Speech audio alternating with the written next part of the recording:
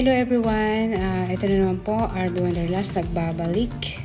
So, uh, andito po ako ngayon sa Toys Temple of Cebu City is one of the famous na pasyalan sa Cebu City, ang Temple, Temple Church. So, so uh, mag mag-enjoy po kayo sa panonood sa aking uh, video. Tignan niyo po ang aking video. So, sobrang ganda po ng uh, kapaligiran dyan at ng mga tanawin. So, makikita nyo mga kalangga, this is my family, Mother Carmen, Twinkle Bacol, and Twinkle Being Girl, uh, and, uh, and together with uh, all friends. So, mga kalangga, sobrang ganda dito sa Temple Cebu. Uh, Tourist Temple, Cebu City.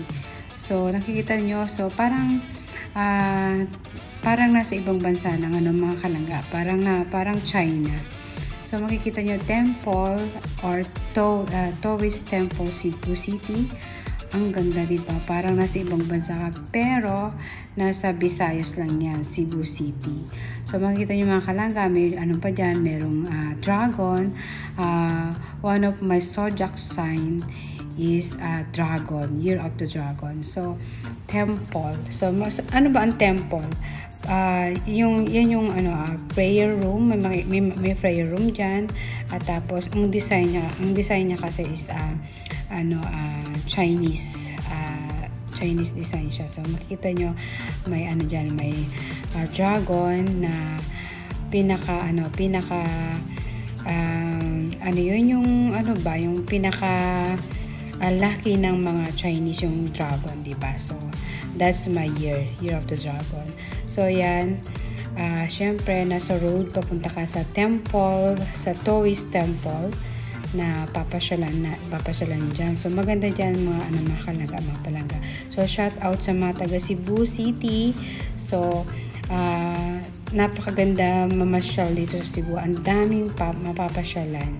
So uh, uh, napaka ano, napaka napakayaman ng ano ng ano nila dito sa sa Cebu. Talagang marami mga tourist ano tourist spot na punta dito ang tourist uh, uh, tourist temple na sabi nga sabi nga na ang daming nagpupunta dito ng mga foreigner kaya mga ibang lahi uh, nagpupunta dito so uh, naway mag-enjoy kayo sa pamamasyal so ayan ipasyal ko na din kayo kasi syempre uh, parang namamasyal na rin kayo so oh yan nga pala nakita nyo Chinese ang ano niya kasi Chinese kasi hindi makita nyo yung mga parang Chinese temple di ba so yan so parang namasyal na rin kayo sa China so ayan makikita ninyo So, yan. Uh, enjoy lang kayo sa pamamasyal. So, syempre, uh, aakit ka dyan. Uh, paakyat ka, maghahagdan ka papunta dun sa ano sa prayer room, sa temple dun sa taas. So, naway mag-enjoy kayo. Sige po, ah,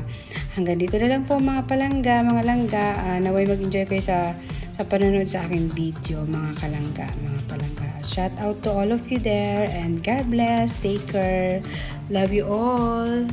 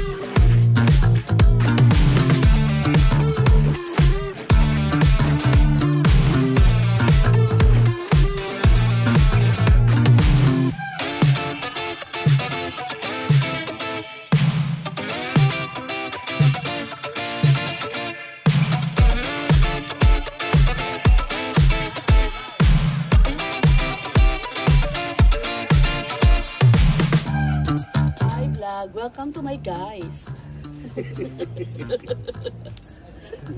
Hi, vlog.